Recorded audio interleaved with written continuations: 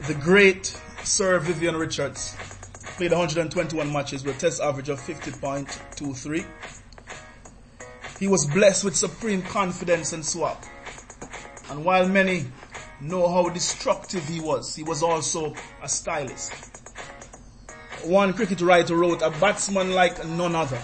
A batting style so elegant yet destructive. He single-handedly made bowlers across the world bow down at his feet. And David Gower also said, and I quote, he was the most awesome, destructive batsman I have ever seen.